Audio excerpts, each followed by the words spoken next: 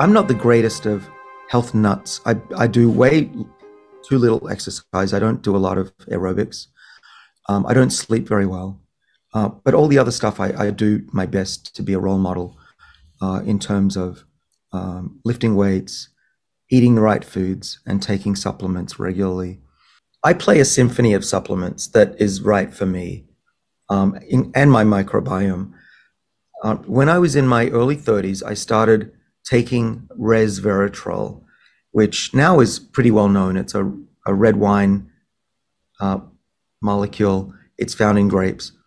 And what's great about resveratrol is that it belongs to a class of what I call xenohormetins.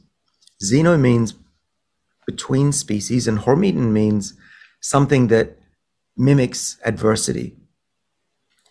So what we're doing when we eat resveratrol, when I take resveratrol, is I'm mimicking what would happen if I ate food, plants that are stressed out or dying or being preyed upon by bugs or dehydrated.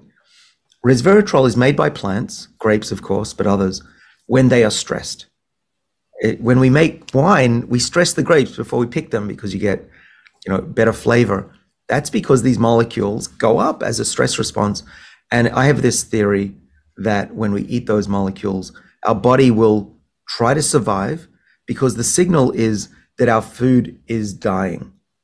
Okay, so this is a, a very ancient, millions of years old, probably billions, of signaling between food and the consumer of that food. So that's resveratrol. Uh, the molecular mechanism is uh, very well worked out. It modulates a variety of uh, processes in the body that defend us against aging. It improves DNA repair, for example. It reduces free radical damage. It lowers inflammation, etc., etc. And we even study the enzyme, one of the enzymes that it modulates, called SIRT1. Um, and I've spent a lot of my career figuring that stuff out. But I've been taking resveratrol one gram a day.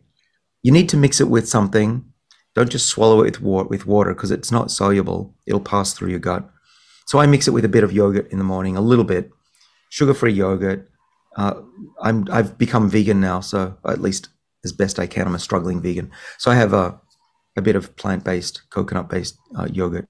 You can use a bit of olive oil, but make sure there's something that you mix it with. I open up capsules and dissolve it. That's important. The next molecule that I take is another one that we've studied in my lab for over a decade, and it's called NMN.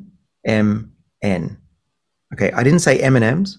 I said NMN. And NMN uh, is short for nicotinamide mononucleotide, and it is a uh, a molecule that our body makes all the time, but we make less of it as we get older. And the less we have, the less well this SIRT1 enzyme protects the body. And so I, by taking NMN every day, again, it's a gram a day. Um, sometimes I go down to half a gram um, because I'm, I'm trying to titrate my testosterone. But anyway, from somewhere between half a gram and a gram I take. And that is known in humans to raise the levels of a molecule called NAD that the SIRT1 enzyme needs to work as do about 400 other enzymes that are good for health. And we don't want low NAD levels because we have less energy, we don't sleep well, and our bodies don't fight against aging. So that it's that NMN resveratrol combo that I like. Resveratrol is the accelerator pedal on the enzyme, and NAD is the fuel, the gas.